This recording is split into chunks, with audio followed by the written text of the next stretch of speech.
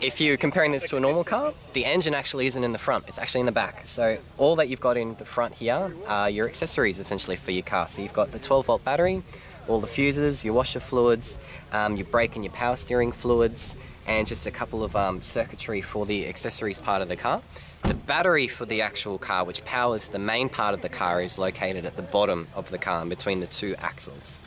The motor and the engine for the car is behind the rear passenger seats, and that's where the charger inverter is also located on the car. So it's nice and small in the front because there really isn't much to it in the front. The unit which will supply power to the car to charge the batteries.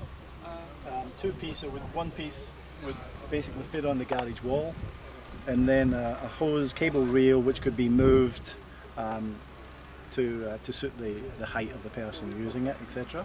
So this is just a mock-up to show. It's fixed cable, so it plugs directly into the car with a, a specific uh, standard. So it's not a usual type of connector you would see. So therefore, you know, no other plugs can certainly be put inside the car. So the car's from Mitsubishi, the car's from Nissan, the Nissan Leaf, the, the Holden or Chevy Volt, the Toyota plug-in Prius, they're all coming with this as standard. Yeah.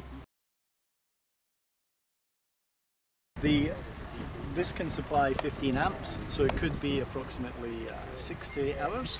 It's really what we would call a, a slow charger, an overnight charger. And the overnight charging is principally where all the charging will be done.